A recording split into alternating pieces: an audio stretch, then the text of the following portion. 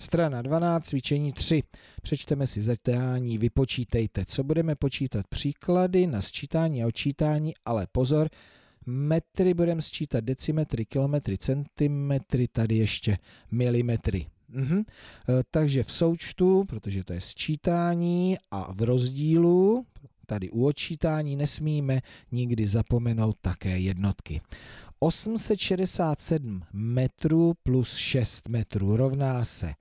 Takže pomůžeme si, 7 plus 6 rovná se 13, takže 67 plus 6 rovná se 73, 867 plus 6, 973 a teďka, abych na to opravdu nezapomenul, metrů.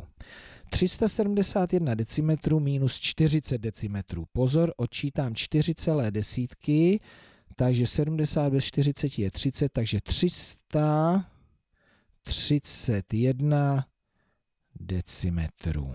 Tak, 529 kilometrů plus 3 kilometry. 9 plus 3, kolik? 12, takže 29 plus 3, 32, 529 plus 3, 532. Ale nezapomenu kilometrů.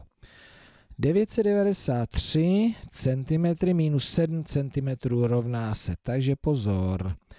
13 bez 7 rovná se kolik? 6, takže 993 minus 7 rovná se 986 cm.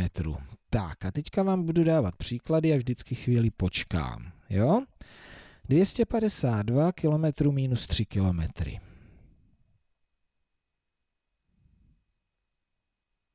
Tak, 249 kilometrů. Kdo to stíhal? Dobře, ostatní se za chvíli přidají 418 cm plus 70 cm, takže pozor. A už to diktuje, diktuje někdo? 488 cm. 864 decimetrů minus 8 decimetrů rovná se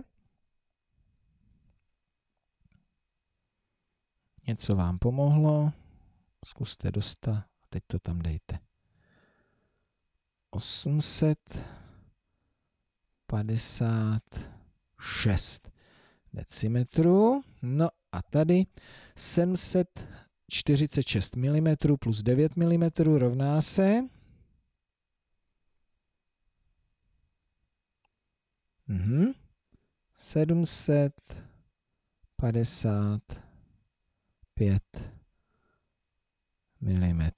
Pro jistotu, pro jistotu ještě zkontrolujeme. Máme správně. Jo, nic jsem nepřehlédl. Můžete dopočítat poslední příklady, no a tohleto bych chtělo pořádně procvičit. Najděte si třeba ještě nějaké další cvičení.